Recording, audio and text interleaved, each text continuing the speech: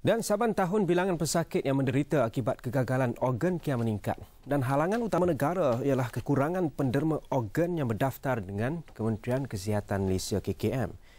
Dan untuk makluman semua, ketika ini hampir 20,000 orang rakyat Malaysia menantikan organ seperti jantung, hati, buah pinggang, paru-paru untuk kelangsungan hidup mereka.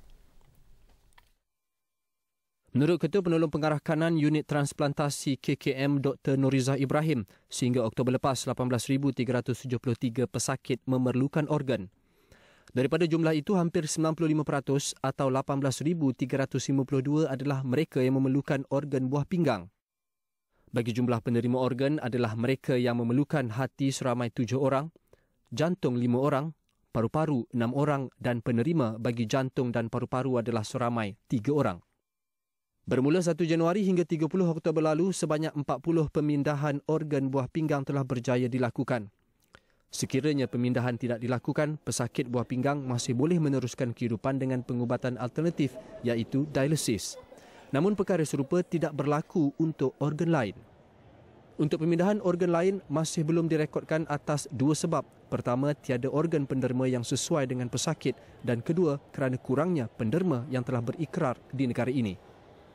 Jika dibuat perbandingan dengan negara luar, kadar pendermaan organ selepas kematian di Malaysia adalah 0.7 per sejuta penduduk berbanding 4.5 per sejuta penduduk di Arab Saudi. Sehingga kini hanya terdapat 270 ribu orang yang telah mendaftar sebagai pengikrar dan jumlah itu masih rendah. Sekaligus menjadikan Malaysia negara kedua terendah selepas Myanmar. Dibandingkan dengan negara yang yang yang tinggi kadar penerimaan organnya, mereka mengamalkan sistem uh, opt-out.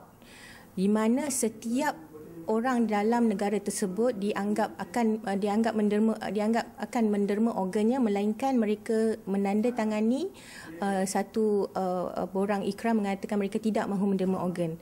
So jadi uh, benda macam ni adalah akan meninggikan kadar penerimaan organ.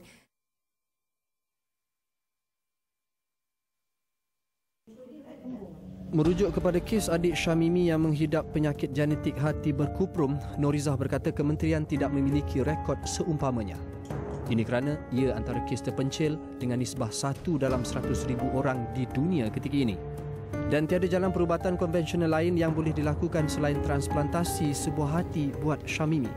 Katanya Syamimi memerlukan hati daripada seorang penderma organ yang mengalami mati otak kalau dari segi um, um, Kementerian Kesihatan uh, susah juga saya nak cakap. Tapi kalau dari segi kebetulan misal kata jika ada seseorang ditakdirkan bertemu dengan kemalangan jalan raya dan dia juga adalah ber, pernah berniat untuk menderma organ-organnya dan uh, dimasukkan ke dalam hospital mungkin juga nyawa adik Syamimi ini dapat uh, diselamatkan sekiranya organ yang uh, pesakit, uh, yang pesakit tersebut uh, bersesuaian dengan adik Syamimi.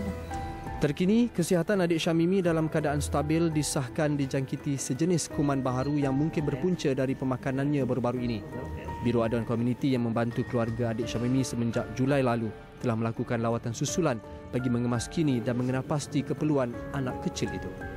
Kali pertama lawatan kami adalah pada bulan Julai tahun ini dan Alhamdulillah uh, ada sedikit uh, kemajuan daripada segi uh, pihak uh, Cik Firdaus bapa kepada adik Syamimi dapat uh, beberapa bantuan salah hidup daripada Baitumal, Zakat dan juga Jabatan Kebajikan Masyarakat. Namun uh, keadaan adik Syamimi agak kurang sihat disebabkan beberapa kondisi yang memerlukan uh, penyegeraan. Tambah Nafik, kepada yang ingin menghulurkan bantuan boleh berbuat demikian dengan menghubungi Muhammad Firdaus di talian 016 976 9931 atau menyalurkan sumbangan ke akaun Maybank milik Firdaus seperti tertera.